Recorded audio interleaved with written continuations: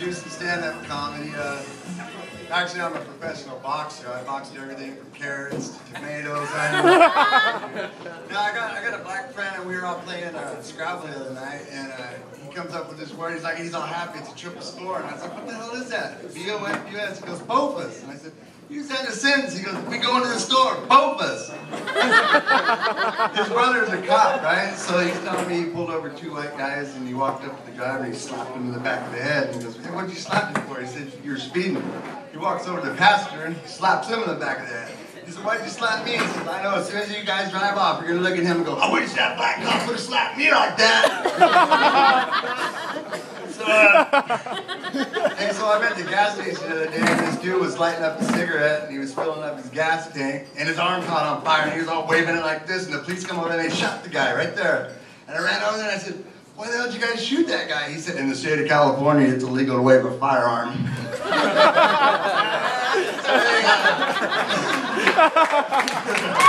yeah!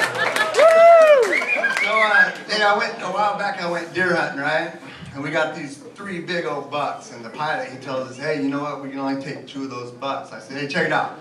We had three bucks the size last year, the plane just like that, man. And he goes, I go, what up? And he goes, all right. So we were, we were taking off right there, and we fucking couldn't get past the trees, and we wrecked. We got out. My friend goes, where, does, where do you think we are? And I go, looks like the same place we crashed last year. so uh, uh, I was going to go bungee jumping, and uh, the instructor, I said, so what's it like? You know, and he says, well, it's kind of like getting a blowjob from your grandma. It feels good, but for Christ's sake, don't look down. you know I mean? Hey. Yeah!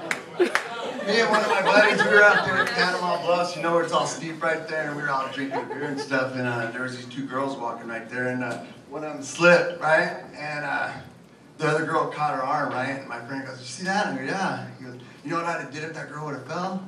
I said, what? He goes, I ran over there and fucked her before she got cold.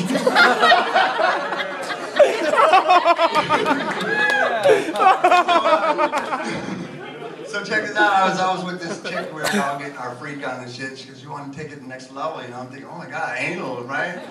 Now this bitch takes out a glass eye. In there. I said, "What the fuck? Put in there." So I did what any man would do. I did it once. You know, and I was like, "Ew!" It was fucking sick, dude. So I. When I was driving off, I threw a number out the window. Well, my brother the next day says, "Hey man, you know that girl with the glass eye, Marley? Yeah." She said, "Come by, man. She'll keep an eye out for you." People always ask me, suck a dick for a million dollars? I said, I'd probably fucking swallow so check this out. I told her, uh, wow, that's big, bitch. You know what? If you clean the house, we'd get rid of the maid. She said, fuck, if you eat pussy, we'd get rid of the gardener. so me and her we went to this church, and uh, the pastor says there's only one rule here. He says uh, you gotta go a month without having sex. So we come back a month later, right? He says, all right, did you make it a month without having sex? And I said, you know what? I made it three and a half fucking weeks. And she dropped an orange and bent over to pick it up. And I hit that shit. And he goes, son, you're not welcome to this church. And I said, that's all right. I'm not welcome to Vons anymore either. that's it, guys.